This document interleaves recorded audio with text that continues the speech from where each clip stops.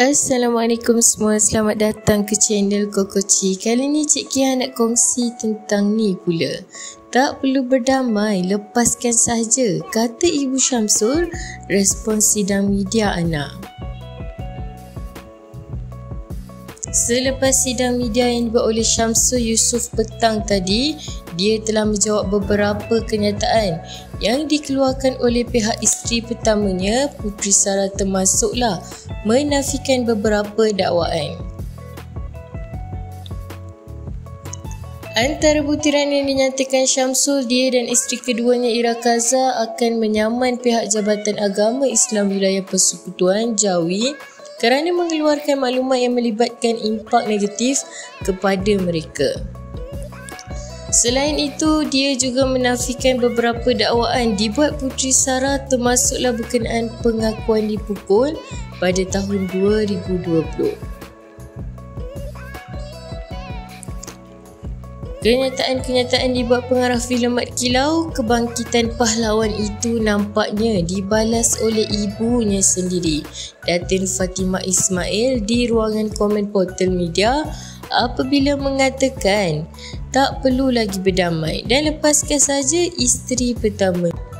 Perkara tersebut turut mendapat perhatian Putri Sarah apabila bersetuju dengan ibu mentuanya. Dia meminta agar Syamsul tidak memusing cerita dan melepaskan saja dirinya sebagai seorang isteri.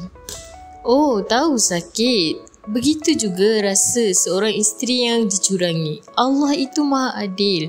Kalau begitu, tak perlu berdamai. Lepaskan saja. Tulis Datin Fatimah tegas. Terdahulu isteri kepada penerbit filem terkenal Datuk Yusof Haslam ini telah menyuarakan sokongan terhadap Putri Sarah dengan memberikan kata-kata semangat apabila mereka sudah ada bukti yang mengatakan semua ini berpunca daripada hasutan orang ketiga dalam rumah tangga anaknya. Walau bagaimanapun Syamsul menegaskan tiada istilah orang ketiga kerana menikah dengan Ira adalah pilihannya sendiri. Kejap-kejap. Nak lihat apa seterusnya? Subscribe dulu, okey? Okey, sedikit ya. Janji-janji. Okey.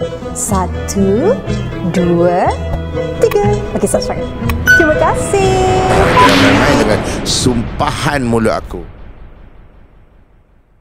Diulangi artikel ini diambil dari artikel berkenaan. Sebagai penggemar media hiburan, harus berhati-hati dalam memilih sesuatu isu. Kami tidak bertanggungjawab kerana pihak kami tidak tahu kesahihan berita yang dikeluarkan.